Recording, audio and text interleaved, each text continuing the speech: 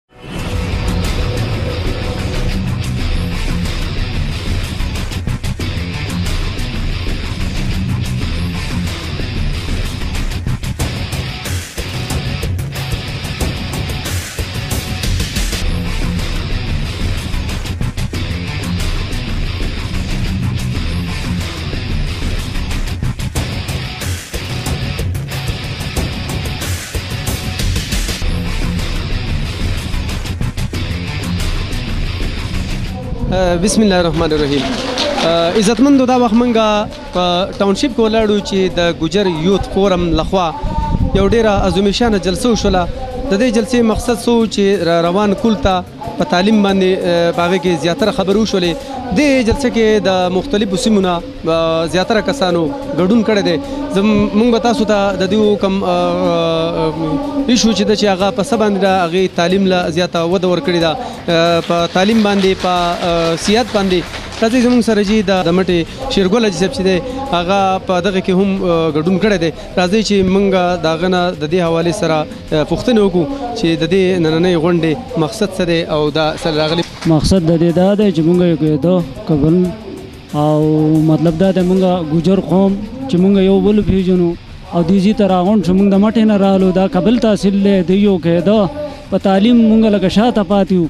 د تعلیم د لاسه مونږ شاته پاتې یو که نه کومو کسانو چې تعلیمونه کړي دي هغه خو مخکې تللي دي خو چې شاته مونږ پاتې یو د تعلیم په لحاظ پاتې یو که نه مخکې په تعلیم باندې تللی شي نو دا مشران دا چې راغونډ کړي دي د دې دپاره دا کسان یې راغونډ کړي دي چې مونږ یو بل وپېژنو دا تعلیم پر خلاص کړو زمونږ خو دا تنظیم چې کوم جوړیږي نه دا د ینګ هلکانو تنظیم مونږ جوړ کړی دی دا غیر سیاسی دی دا هیڅوک به په سیاست کې نه استعمالي دا غیر سیاسي تنظیم دی دا زمونږه مطلب د کشرانو په سر به زمونږ لاسي په هر شوبه کې چې د دې خدمت اک مالی ک جانی هغه مونږ کو مشران او تنظیم مونږ د کشران د فار جوړ کړي دي چې دا زمونږ د قوم یو پہچان چې زمونږ د قوم د خاندان څنګه چې نور قومونه خپل د خپل لجبي د خپل جبي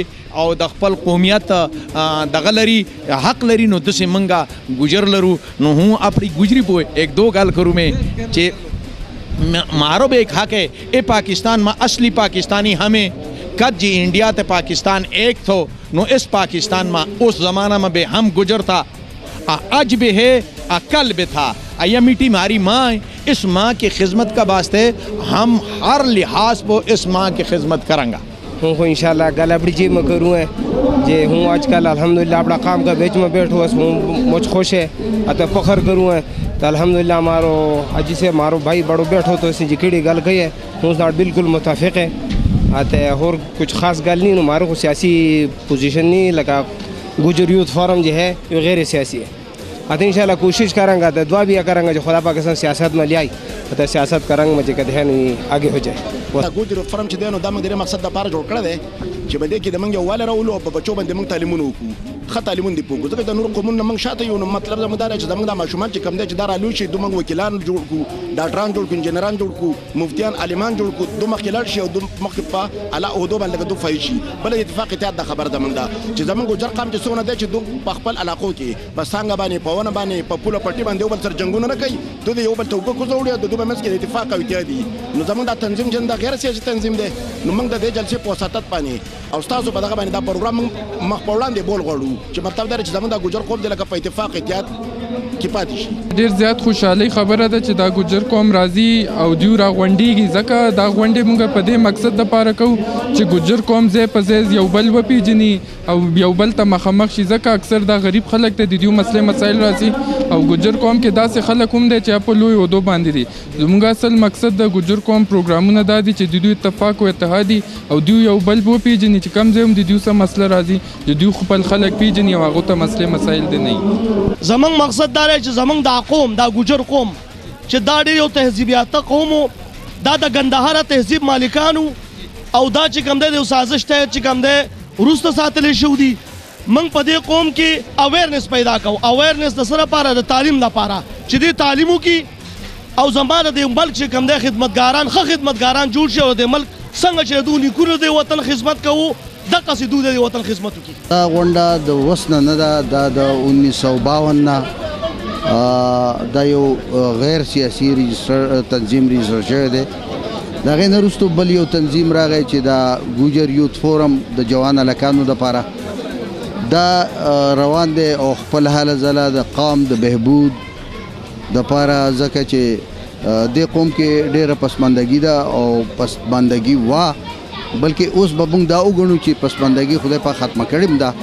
او ډېر ښه ښه ځوانان مخې له راغلي ځکه تعلیم موږ اوس زیات شوی دی بلکې که دا وګڼو چې یاره تعلیم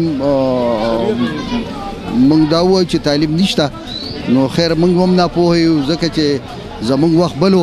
اوس وخت بل دی موږ ته احساس و چې د تعلیم ضرورت دی او تعلیم زمونږ ډیرو کسانو په خپل وچو ډېرې سختې ایستلي مونږ کم وروڼه هغه دا خبرې کوي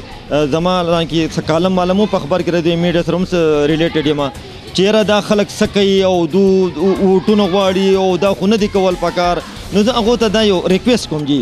چې زمونږ سره لکه څنګه چې په سټیج وي ستاسو مخې چې زمونږ سره دومره وخت نشي چې مونږ ستاسو خبرې وکړو لکه زمونږ دومره ډېرې مسلې دي زمونږ بچي شهزادګان په مختلفو یونیورسټیانو کې سبقونه وایي د هغو مونږ وعدې کړې چې پي ایچ ډي لیوله پورې به مونږ هغه رسوو هغو سکالرشپ دی منتلي په هغې حساب باندې په کم لیول باندې چې زما ماشوم سبق وایي ما ته ډېرې زیاتې مسلې دي زه چې کله دې مسلو نه وزګار شم نو که بیا ټیم و نو بیا به د بل قوم خبر وکم اوس ما دې صرف خپلې خبرې ته پرېږدي د ما سره د بل چا د خبرې کولو ټیم نشته ډېره ډېره مهرباني ډېره مننه جي ډېره مننه عزتمندو ګجر یوت فورم به تعلیم، صحت دغه له به وده ورکړي چې راروان ماشومان چې کوم دي هغه د جهالت د تیارو د پاره یو مشال یو رڼا جوړ شي عزت مند دا وخت زما پروګرام پای تر سي د بل پروګرام پر خپل کوربه بزل ربي پښتون ډیر لا اجازه را کوي په الله مسپارلې